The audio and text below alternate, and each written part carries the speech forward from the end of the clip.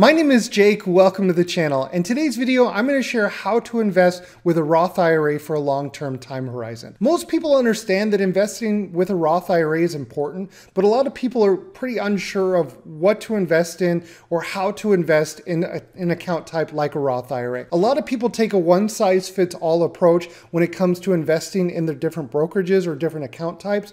In this video, I'm gonna share, you know, that understanding your investing time horizon and appreciation of asset classes classes is a great way to start when planning out your investments in an account like a Roth IRA or a taxable account, whatever the account type may be.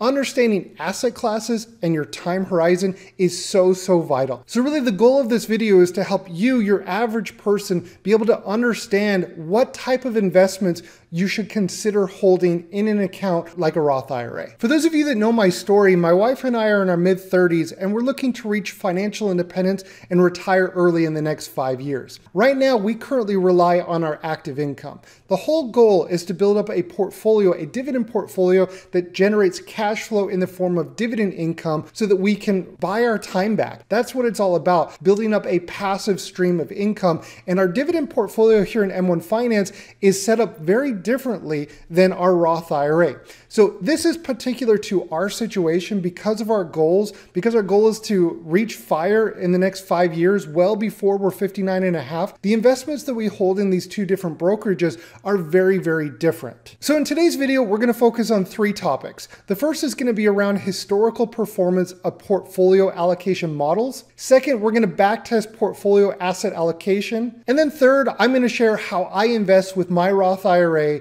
with a 25 year time horizon. Now, let's be honest, these are some pretty nerdy topics. When I say it out loud, portfolio asset allocation, I can't believe that we're all spending our Sunday afternoon listening and talking about portfolio asset allocation. I mean, we must be really, really big nerds if we're watching this on a Sunday. We probably all look a little like this. Your appearance is comical to me. I'm a nerd. So am I!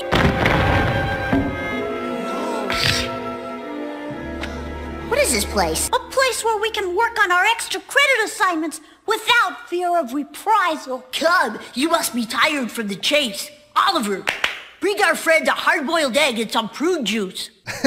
now that we all have our hard boiled egg and prune juice, let's take a look at portfolio allocation models. So, what this is essentially is it's when you're investing, you're investing into different asset classes. So, an asset class could be like a bond, it could be a stock, it could be oil, it could be like a you know a commodity. You know, one could even say it could be like you know Bitcoin, cryptocurrency. There's so many different asset classes out there. It's important if you're an investor that you understand the appreciation or the expected expected appreciation of each individual asset class because this is going to dictate how you set up your portfolio depending on your time horizon. So let's take a look at this from the portfolio allocation models from Vanguard. If you were to invest 100% into bonds, you could reasonably expect a 6% annual rate of return. Now, 6% is actually pretty high, but if we look all the way back to 1926, historically, a portfolio focused just on bonds has yielded right around a 6% annual rate of return. And when I use the word yield, be very, very important that you understand what I mean by yield. Yield is just the overall return that you're getting from the investment. It doesn't just mean the dividend yield. So it's important. I don't want anybody to get confused when, when you hear me say yield. So let's take a look at a blended or a balanced portfolio approach.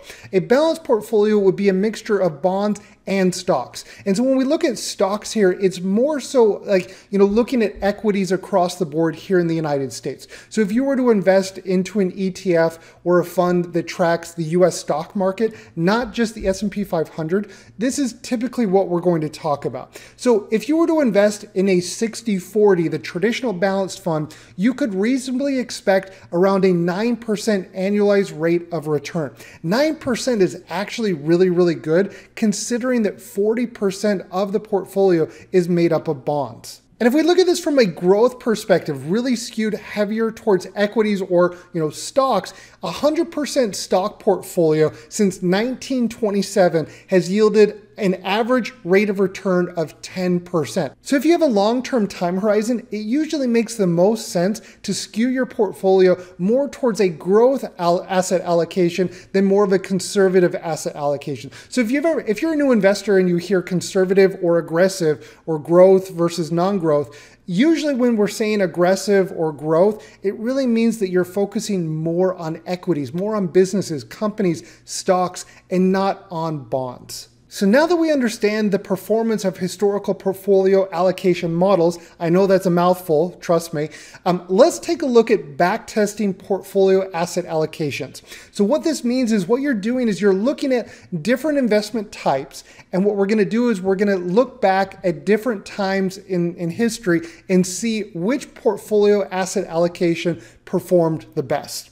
Now, when, when I say the best, it really could all that's also subjective because the best for some pers- some people may be different than others. Maybe some people view less volatility as a better port- performing portfolio. So it really could you know vary depending on the individual but from this standpoint we're going to look at it from both lenses a volatility standpoint and just a pure total return standpoint so what we're looking at here if we were to look at the historical performance of different portfolio allocations based off of an investment of $10,000. And this is assuming that no rebalancing is taking place. So you're investing $10,000 from the get go, and how is that portfolio going to perform over time, depending on the asset allocation. So, over here on the left, you see portfolio assets. There's three individual ETFs that we're going to be investing in. The first one is SPY, this is the S&P 500.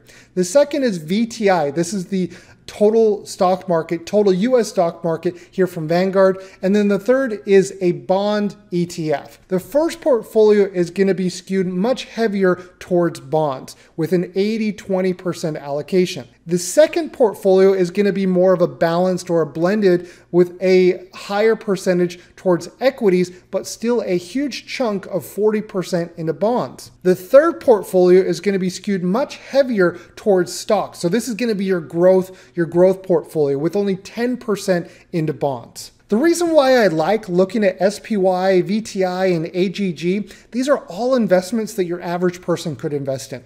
Now let's take a look at these three portfolios and let's analyze how they performed since January of 2004. Once again, the first portfolio is the conservative portfolio. The second is the balanced portfolio. And then the third is more the aggressive focus mostly on equities. So looking at the bottom here, the portfolio returns, the first portfolio that with that initial initial investment of $10,000 in January of 2004, you would have seen the portfolio grow to $27,000 or a just under a 6% compounding annual growth rate. This is the total return. This is assuming the dividend is reinvested, but you never rebalance the portfolio. The second portfolio would have grown to $41,000 with an annual rate of return of 8%. The third portfolio would have grown to $52,000 with just under a 10% annual rate of return. When looking at the growth of the three portfolios, you can clearly see that the third portfolio, which has more exposure to stocks, outperformed the other portfolios, which included bonds. And so what's really interesting for me is to look at the annual return of each individual portfolio and see how they compare. So portfolio one being the bond portfolio, you can see that it underperformed the other portfolios in most years, but also when there was a bear market, it didn't perform as poorly. So you're not seeing as much volatility in the bond portfolio. It doesn't go up as much as the others, but it also doesn't go down as much as the others. In comparison with portfolio three, the growth portfolio, you can see that each year it typically, not always, outperforms the other portfolios, but also when volatility hits, you're going to see the most correction or volatility in this portfolio when comparing to the other portfolios. And as I mentioned, this is really important because when you're looking at this, when you're investing, not every investor invests with the same goals. For some investors, having that stability and you know being able to understand and know that your portfolio is not going to go up and down and fluctuate as high can be a big advantage. So when investing, there's more than just, yeah, obviously you want to go with the portfolio that has the highest return over time. Not everyone thinks that way, especially if you're nearing retirement and you're, you're going to need the money soon. You don't want to have that volatility in your portfolio in most cases. So it's not just black and white. Yeah, go obviously with a portfolio that you're going to get the highest return because you have to understand are you an investor that can stomach the volatility? Are you someone that can invest, for example, in 2008 and see your portfolio go down over 30%? This is really, really important. And I think it's very difficult to answer that question if you've never experienced and been invested during a bear market. Because when the market only goes up, yeah, it's easy to be a growth investor when all you know is up and to the right. So if we look at each portfolio, the first portfolio being the bond portfolio, since 2004, this portfolio has yielded an average rate of return of just under 6%. The second portfolio has averaged just over 8%.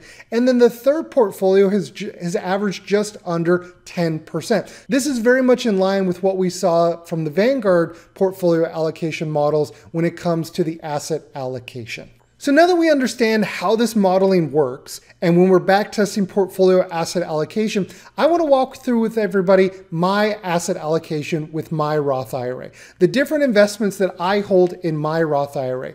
You can see them here on the left. The four ETFs that I hold in my Roth IRA are VGT, this is the information technology ETF from Vanguard, VTI, this is the total US stock market from Vanguard, VNQ, this is the real estate ETF from Vanguard, and then VXUS. This is the international ETF from Vanguard. So here in Portfolio 1, you can see that I have 45% of my asset allocation in VGT, 35% in VTI, 10% in VNQ, and 10% in VXUS. And what I would like to do is compare my portfolio in Portfolio 1 with Portfolio 2 if I were to just invest into the S&P 500. So as you can see, SPY has zero allocation in my portfolio and then 100% in Portfolio 2 when comparing the two portfolios. Now, because some of these ETFs are fairly newer, the portfolio backtesting will only go to January 2012. So that's very important to, to remember and to note. It only goes back to 2012. The first thing that I want to note in my portfolio, if I would have invested $10,000 in January 2012, I would have a current balance of $52,000. That would give me an annual rate of return of 18%. The second portfolio, if I were to just invest into the S&P 500, I would have $41,000 in my portfolio with a 15.5% rate of return. And what I found really interesting is when comparing my portfolio with the S&P 500 is that they track each other fairly well, but you see that some years there's actually less volatility in my portfolio than in the S&P 500. For example, what we saw here in 2018. So when comparing the two, you can see that in my portfolio in blue, it has yielded an average rate of return of over 18% since 2012, whereas the S&P 500 has yielded an average rate of return of 15.5% since 2012. Now, I do want to say there is one caveat here. 2012 is not really representative for me. I, I take this with a grain of salt. I think if we were to put this back to maybe 20 years ago or 30 years ago, you would see a much more normalized rate of return of around 10, 11, or 12%. So take this with a grain of salt. I don't believe that, that I will continue to see an 18% rate of return or an average rate of return of 18% going forward, but that has been the historical performance the last couple of years. Historical performance is never a guarantee of future performance, but I really think that the past has a story to tell. And if you do want to backtest your portfolio asset allocation, I think this website does a really, really good job at displaying the historical performance. The investments that I hold in my Roth IRA serve a very distinct purpose. The purpose of my Roth IRA is focusing on the total return, the growth of the portfolio over the next 20, 25 years. The goal of this portfolio is to give us options in retirement. Once we reach the age of 59 and a half, I have no clue what we're going to be doing realistically in 25 years. 25 years is a lifetime away. The goal of focusing on growth here with this portfolio is it gives us options. If we were to then, you know, when we're 59 and a half, want to purchase a home or, or make a big purchase, we could sell out of the investments and pay zero capital gains tax because the investments are in a tax sheltered account here in the Roth IRA. So as I mentioned from the beginning, my taxable account, the goals around that portfolio are fundamentally different than our Roth IRA. Our Roth IRA is all about growth and you know the, the growth of the portfolio over the next 25 years. And our cash flow portfolio in our taxable account is all about generating income, cash flow today. So they're two very different portfolios with different goals, but they all serve a purpose in our goal, our ultimate goal of becoming financially independent and retiring early. Because my Roth IRA is a long term investment vehicle, I want to make sure that the companies or the investments or the ETFs in this portfolio are as passive as possible. That is why I personally, this is my personal approach, I only hold ETFs in my Roth IRA. I do this because I want it to be passive and I don't want to have to think about it, you know, every other day. How is my Roth IRA doing, right? I set it and I forget it. And that is the approach that works for me for my investing goals and time horizon. I hope that this video was helpful. I will leave a link to this portfolio in the description below of how I'm invested with my Roth IRA, as well as a link to the portfolio visualizer, the, the website that I was using just a moment ago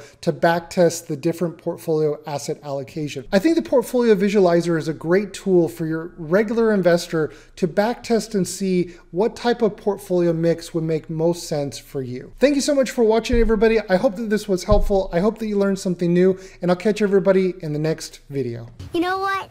I think we're gonna be friends. Can everyone say hi to my friend? That's crazy. I just wanted to say Thanks. I'm glad you came along, partner.